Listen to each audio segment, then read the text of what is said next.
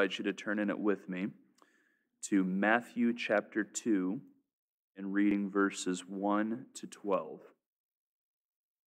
And I'm titling my message, Three Types of Seekers. Three Types of Seekers. I was in a conversation with somebody last week after church who mentioned how oftentimes it's the case that over the course of the Christmas holiday, the Magi get left out of the story. And uh, I thought about it a little more, and I was thinking, you know, you might be right about that because if um, Christmas is close to the next Sunday, closer to the next Sunday than the previous Sunday, then oftentimes the things that happen on like the Christmas night don't get talked about near as much. So the Magi, uh, the wise men as they're called, they sometimes just get left out of the story. And then I thought about it a little bit more and I remembered, oh, yeah, actually, I preached about that at the Christmas Eve service last year when there was a major storm where we only had about 13 or 14 people that were able to come. So, what I'm doing here is I've kind of reworked the message from that service to uh, then give it uh, here as well. And uh, we're going to uh, be noticing in our text here with the wise men, Herod, and some others, three types of seekers. And this is when I say seeker, I mean people who are seeking the Lord. Talked at Christmas Eve service about the glory of Christ, uh, his nature as the Lord of all, and how people should seek him and pursue him. Here we're going to talk today about three types of a seeker. So, Matthew 2, verses 1 to 12. Now, after Jesus was born, I don't think I mentioned this, that's on page 509 if you're using a Pew Bible, 509. So, Matthew 2, 1 to 12. Now, after Jesus was born in Bethlehem of Judea in the days of Herod the king, behold, wise men, that is, Magi, from the east came to Jerusalem, saying, Where is he who has been born king of the Jews? For we've seen his star in the east and have come to worship him. And when Herod the king heard this, he was troubled, and all Jerusalem with him. And when he gathered all the chief priests and scribes of the people together, he inquired of them where the Christ was to be born. So they said to him, In Bethlehem of Judea, for thus it is written by the prophet. This is from Micah 5. But you, Bethlehem, in the land of Judah, are not the least among the rulers of Judah, for out of you shall come a ruler who will shepherd my people, Israel. Keep that in mind. We're going to be returning to that here in a few minutes. Shepherd my people, Israel. Verse 7 Then Herod, when he had secretly called the wise men, determined from them what time the star appeared. And he sent them to Bethlehem and said, Go and search carefully for the young child, and when you have found him, bring back word to me that I may come and worship him also. And when they heard the king, they departed, and behold, the star which they had seen in the east went before them till it came and stood over where the young child was. And when they saw the star, they rejoiced with exceedingly great joy. And when they'd come into the house, they saw the mother, the young child, excuse me, with Mary, his mother, and fell down and worshipped him. And when they'd opened their treasures, they presented gifts to him gold, frankincense, and myrrh. Then, being divinely warned in a dream that they should not return to Herod, they departed for their own country another way. This is the word of the Lord for us today. We're thankful for it. Okay, verses 1 and 2, we have the Magi, these wise men as they're called. Let's be very clear here. They are not wise in the biblical sense. Um, these are astrologers from the East. And uh, these are men who have the abilities, as it's thought at least, to look at the stars and discern messages from the stars about the future. Astrology is something that is still alive and well to this day. Uh, you can read the newspaper and find your, you know, astrological signs or whatever it is. That's what these men are experts in. They're from the East, where it's thought that the best astrology was, and um, they're pagans. I want to be very clear here. These are pagan men, but they do have a very clear purpose in the story.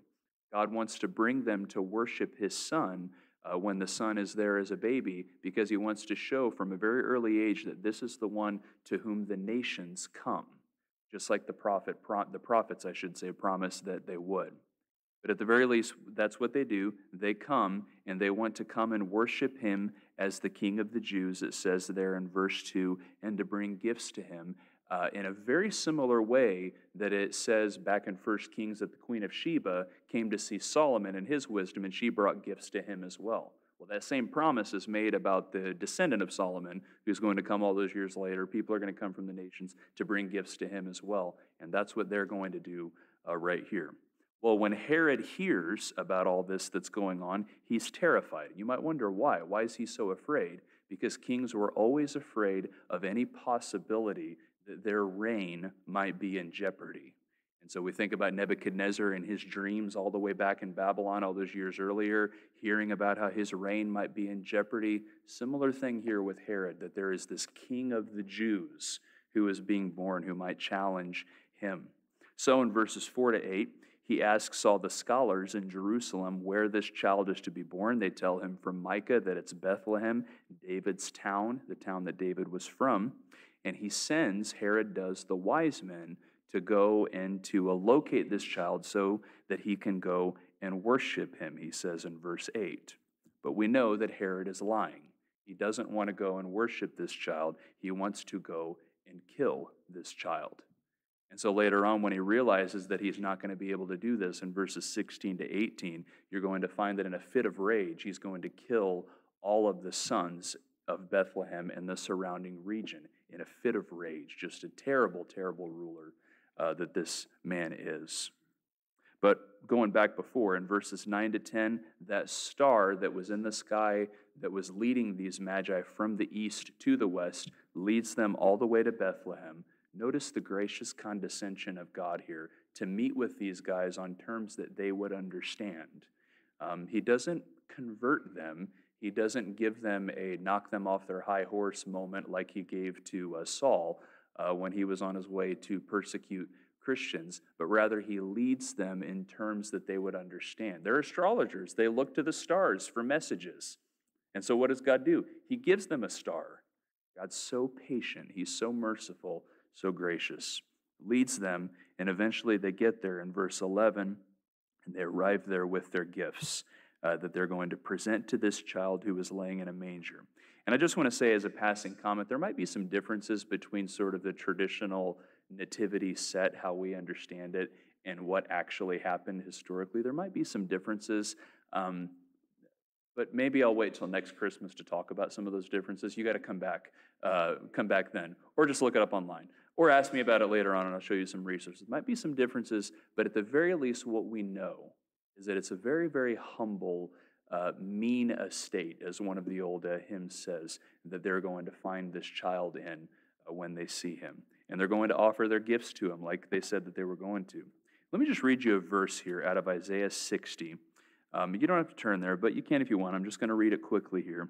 In the prophet Isaiah, chapter 60, when it's talking about the light coming into the world and the glory of the Lord rising upon the people, in verse 6 of Isaiah 60, it says that the multitude of camels shall cover your land, the dromedaries of Midian and Ephah, that is to say, the people from outside of Israel are going to come. All those from Sheba shall come, and they shall bring gold and incense, and shall proclaim the praises of the Lord. Sound familiar? It should. That's exactly what's happening when these wise men, as it were, come to worship this child. Isn't this remarkable there in verse 11? They fell down and they worshiped him and opened their treasures. It's exactly like God promised that it was going to happen. Now, what I want to point out to you, what I want to posit to you, is that we have three types of seekers. That is to say, those who were seeking the Lord. Three types of them in our text here. First, we have the Antichrist seeker, and that's Herod. He wants to seek after Christ for what purpose? Wants to kill him. And I'm using antichrist here as an adjective, which I think is a lot is a little bit closer to how the Bible uses it than uh, how some works of Christian literature of the last 60 years often use it. Uh, it's an antichrist spirit and attitude, and that's what's driving Herod. Yeah, he's seeking the Lord, but he wants to kill him. Second type of seekers are the consumers. This might be a little bit surprising to you, but I submit to you that it's the three magi. They're consumers. They might, as far as they know, have somewhat decent motives, but let's be honest, they're pagan. And they might go to him and they might worship him, but when the show is over, what are they going to do? Verse 12, they're going to go right back home. They're going to, they're going to not go back through Israel. They're going to escape uh, going through uh, Herod's area, and they're going to depart for their own country another way. When everything is over, they just go right back home. Everything is just back to normal. And then, thirdly, the third type of seeker we have are what I'm calling kingdom subjects. And you might say, well, where are they in the story? They're there in verse 6 when that Micah passage is quoted. When it says that out of you shall come a ruler, Bethlehem, who will shepherd my people, Israel. The kingdom subjects are those who are going to look for this ruler to come and shepherd them, and their ears are attentive to whatever it is that he's going to have to say. So, what I want to do with the rest of our time here is I want to talk about these three types of seekers uh, that we see in our text. First, the Antichrist seekers, who are very, somewhat similar, I should say, uh, to Herod here. Antichrist seekers. To be very clear, biblical anthropology is jarring in its lucid negativity about humanity's attitude toward God. It's jarring how lucid it is and how negative it is about man's attitude toward God. The irony here is that the title of my sermon is Three Types of Seekers. That is to say, those who are seeking the Lord. And yet, what does the psalm say? Psalm 53 The Lord looks down from heaven to see if there's anybody who seeks him. They've all turned aside. Together, it says they become worthless. There's no one who does good, not even one. You can read in Genesis 6 and 8 about how evil is in the heart is in our hearts from the time that we're a youth. Um, sin is in us from the time that we are just little, little babies, even. And can I just say, as a dad of little ones, I'm seeing it all the time, all the time in my kids, and all the time in the mirror as, I'm, as I see even myself. But it's all over the place. The problem is so bad, and I don't want to belabor text here. The problem is so bad that John the Apostle tells us at the end of John chapter 3 which has probably the most famous verse in the Bible in it. But at the very end of the chapter, he says, Whoever believes in the Son of God has eternal life, but whoever doesn't believe, the wrath of God remains on him. This is saying that in some way, the judgment and wrath of a holy God is on us before we even make a decision about whether or not we believe in Jesus. That's, that's a jarring statement. It's a little bit of a shocking idea uh, that the Bible gives us about the state of humanity's attitude before God. But let's be honest, it's like a doctor with a, with a hard to hear diagnosis. But if you've got some kind of cancer or some kind of horrible illness that needs treatment, what would you rather have? A doctor who's going to tell you something you want to hear, or a doctor who's going to tell you what you need to hear? That's the way that God is in His Word. It's offensive to us, perhaps, to think about, but it's what we need to hear because then and only then can we start from ground zero and then begin to begin to think clearly and rightly. Remember, I was uh, listening to a, a, podcast about a year or so ago. John MacArthur, uh, America's favorite pastor. I'm just kidding. He's uh, criticized by a lot, in some ways, rightly. Um, but uh, MacArthur, he's on this podcast and uh, he's presenting the gospel to this uh, individual who's not a Christian. And the person responded by saying, Aren't you afraid that what you're saying might be considered offensive to uh, some of your listeners? And MacArthur responded in a way that only he could. He said, I want to offend everybody. That's what I'm after, is offending everybody. Because that might mean that it will jar them into hearing and considering the truth of these things. I don't think he's trying to be offensive just to be offensive, but again, when we deal with what the scripture says about our heart attitudes, it is difficult to hear. We can be as winsome as possible, and I think we should. I try to be as winsome as possible every time I open the scriptures with anybody. But at some point, they've got to, they've got to deal with the hard truth about, about our attitude before God. So that, let's be clear, Scripture is lucidly negative in its, its a look at man's attitude toward God, but some are indifferent while others are antagonistic toward him. Many are indifferent towards God, many are antagonistic, and these antichrist seekers that I'm talking about, following Herod, are those who are antagonistic. They do everything that they can to try to stamp out the memory of Christ from the earth. All of their thoughts are the same as the rabble in Jerusalem when Jesus was being tried, when they cried, Away with him, away with him, away with him. So the, those who were Antichrist seekers are trying to do. They want to just do everything that they can to get the Lord out of here. Essentially, what I would suggest is that they want to live in his world without his rule.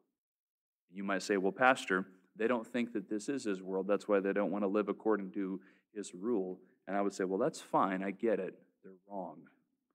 Because the facts of history show that it is his world and that it belongs to him.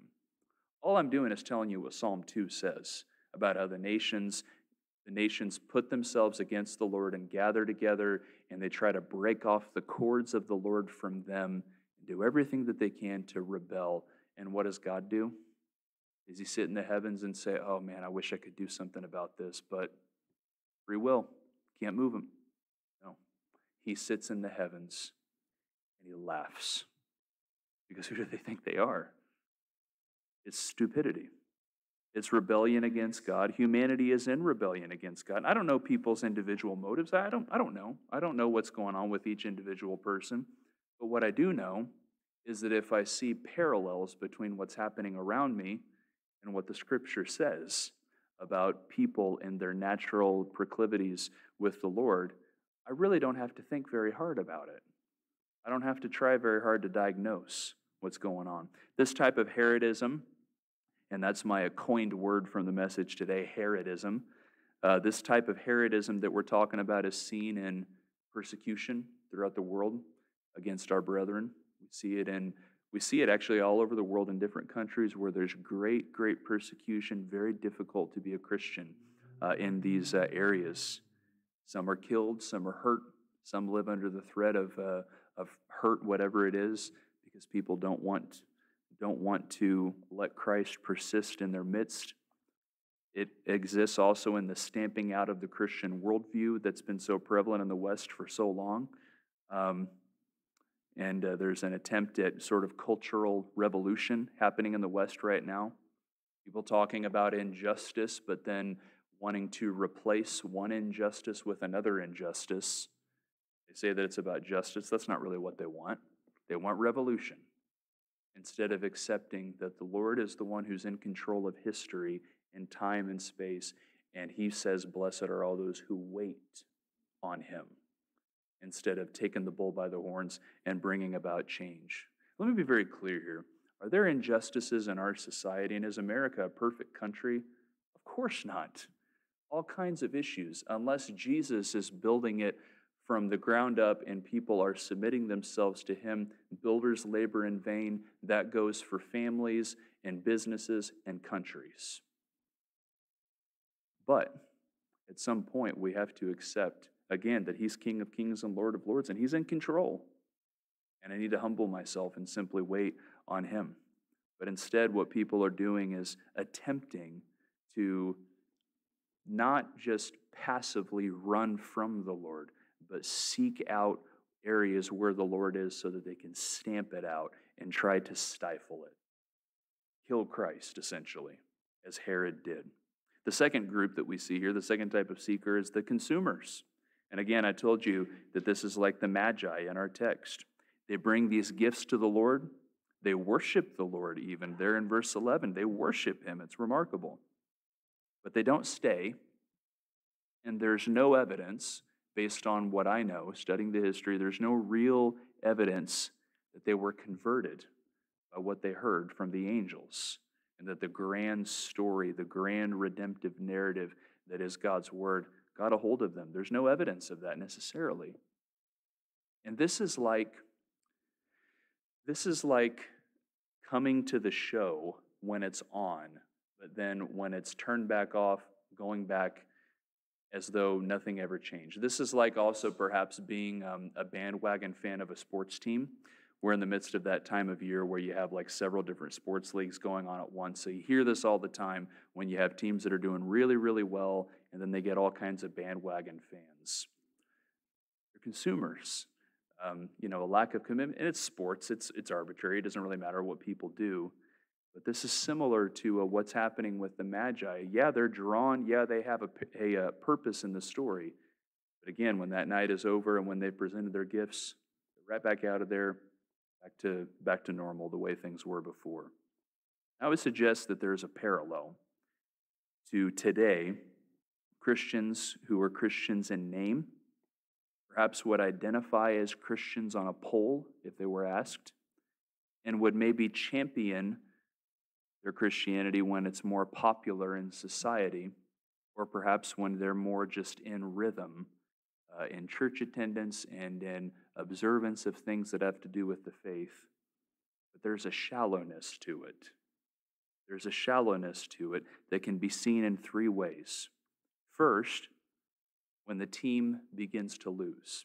I mentioned how you have some bandwagon believers. Um, when the team begins to lose, that is to say, maybe there's an influential Christian subculture for a time, and it begins to die, or revival begins to tarry, they run. And uh, what I'm suggesting is that that's in many ways what has happened uh, in Western culture uh, for the last uh, 20 years or so um, that influential Christian kind of subculture began to die, and now a lot of people have walked away from the faith that they once had. And the big idea that's now out there that you can read about online is something that's called deconstruction.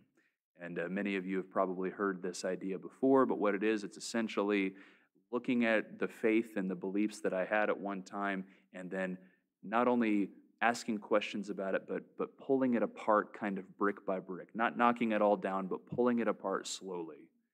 Deconstruction is something that's happening all over the place. I heard a, a preacher, a famous preacher here recently, talking about how if your deconstruction is a deconstruction of kind of a works based, um, societal influencing, um, legalistic kind of faith, then I get it. But if you have life in Jesus, and if you really belong to Him, that's not a faith that ever gets deconstructed. Real Christian faith, Jesus is your life. Your life is in Him, He's in you, you're in Him, and the glory of God in His face so grips you that while you might be jarred by what's happening around you, it never is going to knock you off your feet because you have a sure footing in His hand as He's holding you there. I think that one of the things that's happening today is sort of a consumer church in America, and maybe in many ways is what's dying. You know what I say to that? Praise God. It's wonderful. Because maybe what we're going to find is if we're not here for Jesus, there's no reason to be here anymore. Praise God. The thing that makes the church the church is that we belong to Him.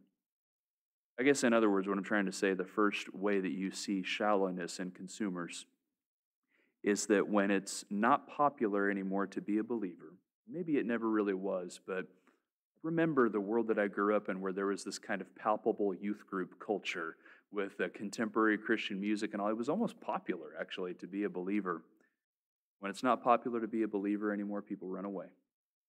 And you see this with Christian writers, Christian singers, all kinds of influential believers over the last 10 or 15 years have so deconstructed what they held before. Again, maybe it needed to be deconstructed, but they've run away and they've stayed away and they don't want anything to do with it. Demonstrates that maybe there was a shallowness that was there all along.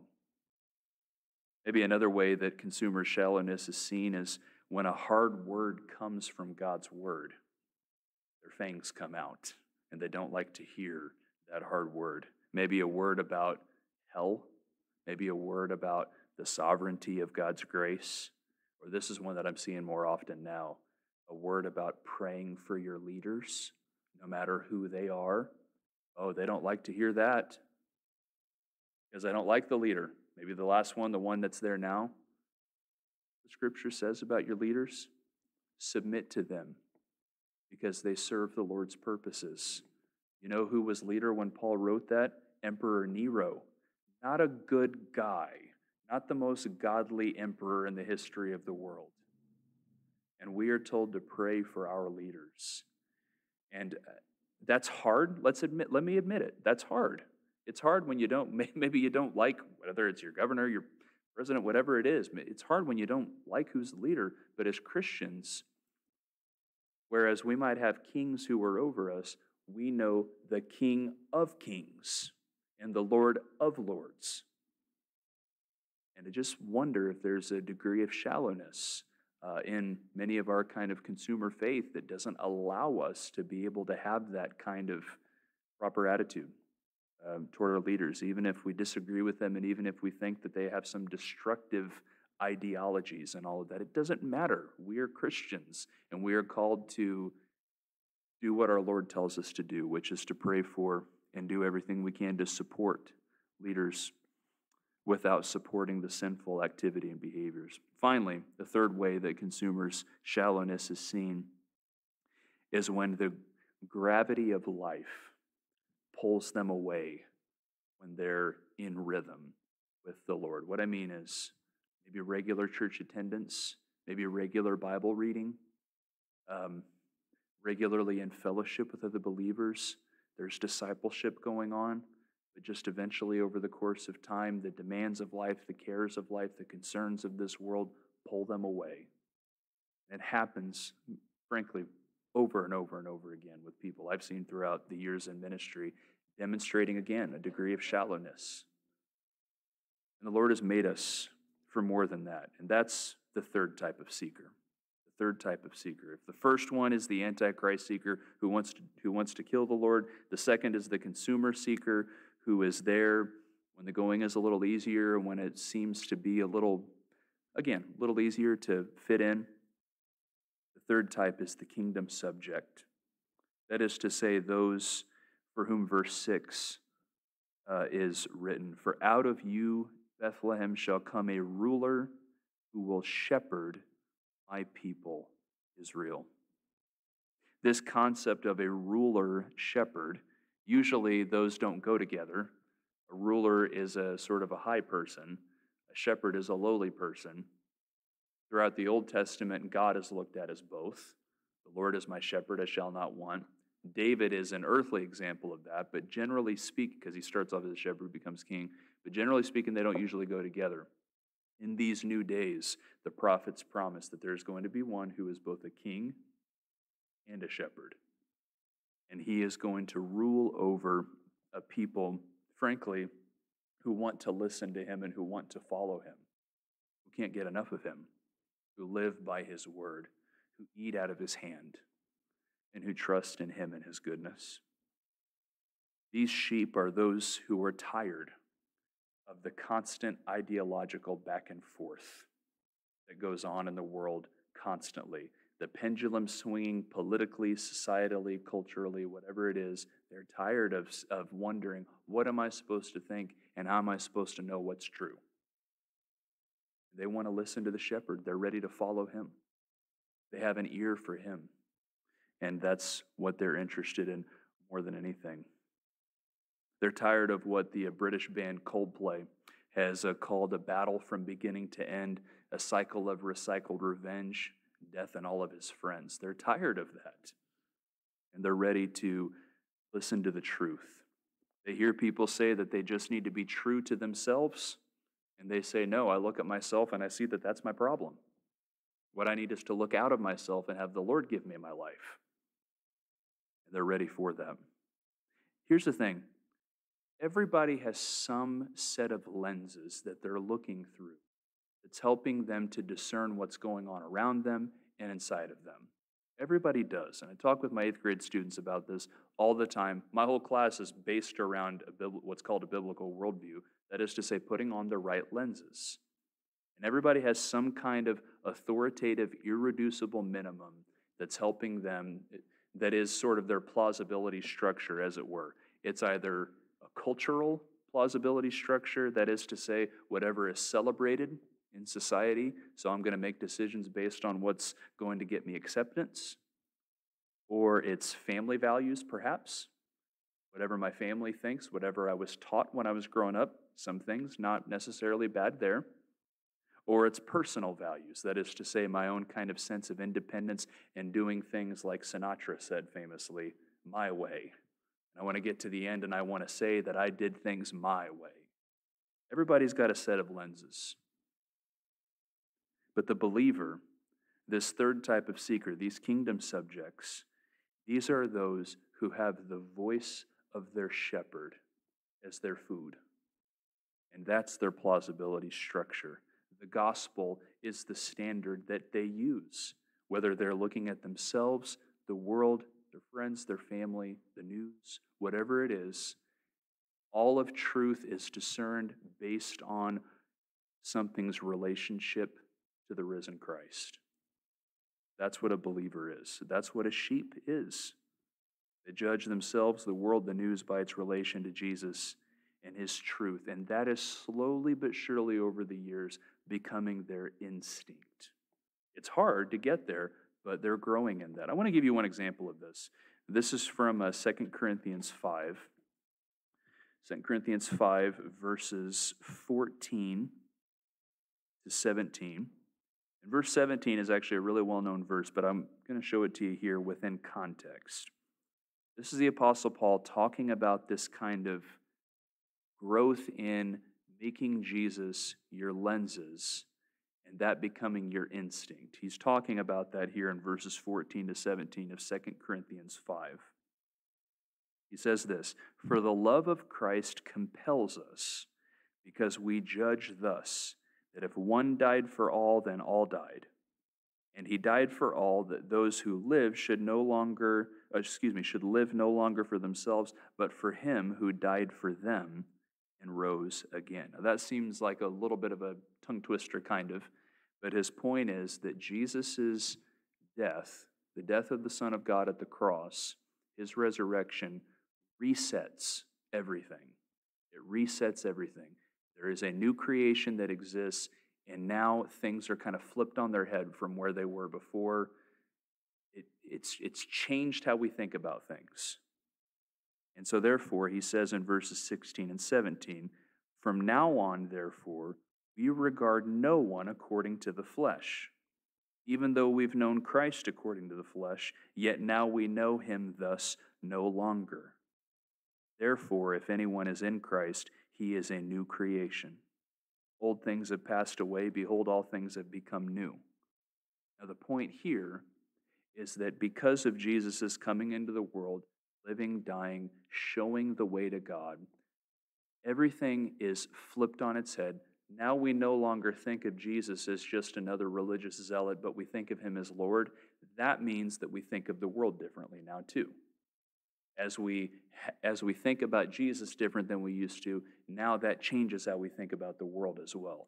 Everything is flipped on its head. Now he has become the standard, the lens, the filter through which we think about anything else.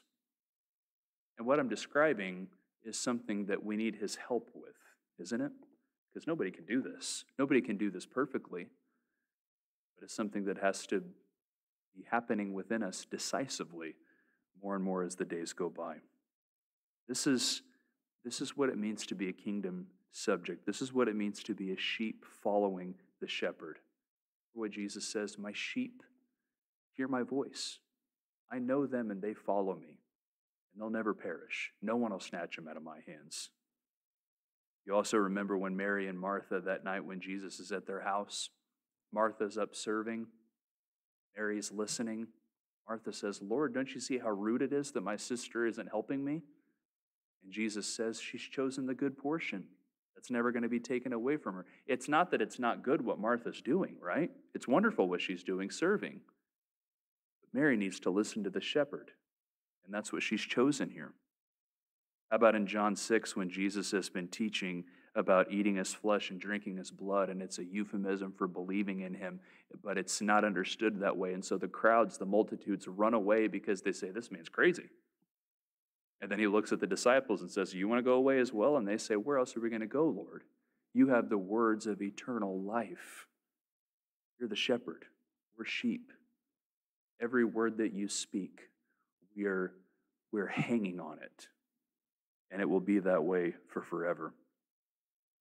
These are those whom the Lord refers to as his mother and his brothers. Remember when he's standing up in the house and he's got the full house of people, and his mom and his brothers come to try to take him home because they think he's crazy too? They say, Jesus, your mother and your brothers are here. And what does Jesus say? These are my mother and my brothers, those who are doing the will of God. That is to say, those who are sitting down before me and listening to the voice of the shepherd. When we say Jesus is Lord, that is not only our confession, but that is our posture as well. So we have three types of seekers here those who want to kill Christ, those who want to maybe follow him when it's easier and more convenient. And then we got those who will follow him even if it means going through the valley of the shadow of death. Maybe you've heard the story before uh, about a man named Polycarp. He was a second generation Christian after the apostles. He was referred to as an atheist. Do you know why? Because he didn't worship the gods, the pagan gods of the Roman Empire. So they thought, well, he's an atheist then. Little did they realize, actually, they're the functional atheists because he's worshiping the true God. They're the functional atheists. So when he was standing up before crowds and he was about to be tried and then killed, they were all crying out, Away with the atheist, away with the atheist. And they asked him, What do you have to say? And he waved his hand to them and said, Away with the atheists. they asked him more, What do you have to say for yourself, Polycarp? And he said, Eighty and six years have I served the Lord, and he has done me no wrong. And he was martyred. That is to say, he said, My shepherd is my Lord, and he has never failed me, and neither will he. May you and I not give in to this Herodism. May we not give in to this consumeristic tendency where we're using the Lord for some kind of high, such that we follow him when it's easy, but if the going gets tough, we don't have any use for him anymore but may instead live not by bread alone, but by every word that comes from the mouth of God, and find our very life in Him, because that is eternal life, and that's what He's come to give to us. Let's pray. So, Lord, today we thank you for your great patience, your great kindness, and your great mercy towards us. As the old hymn says, we need thee, oh, we need thee, every hour we need thee. And as we learn every step of the way, as we're living, walking with you on this journey of sanctification where you're conforming us to your image and you are shepherding and leading us, oh, we learn that, oh Lord, that we need you. Thank you, Lord, for being with us. And I pray for your people here that you would keep us as your sheep, and that when you return, we would be ready. And if we come to you first, that we would be ready then as well. You are our ruler and our shepherd. We are your sheep. May we follow you by your grace and give us your spirit for all that we need. In Christ's name, amen.